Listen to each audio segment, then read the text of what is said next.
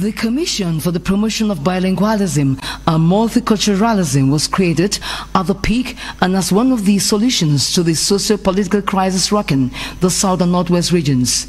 Its members, 15 of them, plus the Secretary General, led by its President Peter Mafany Musonge, have been to the field to assess and address one of the areas of concern in the crisis, the equal regard for the two official languages as stipulated in the Constitution.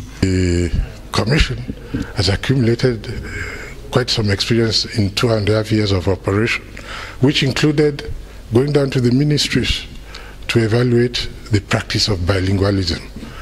Uh, we went down to 37 ministries.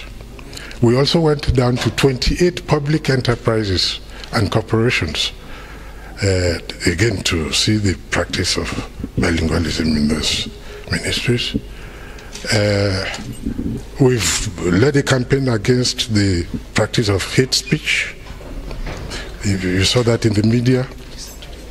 Uh, we, that took place just a few weeks ago. The Musonge Commission has preached against the use of hate speech and have promoted the living together concept as one of the missions assigned to aid.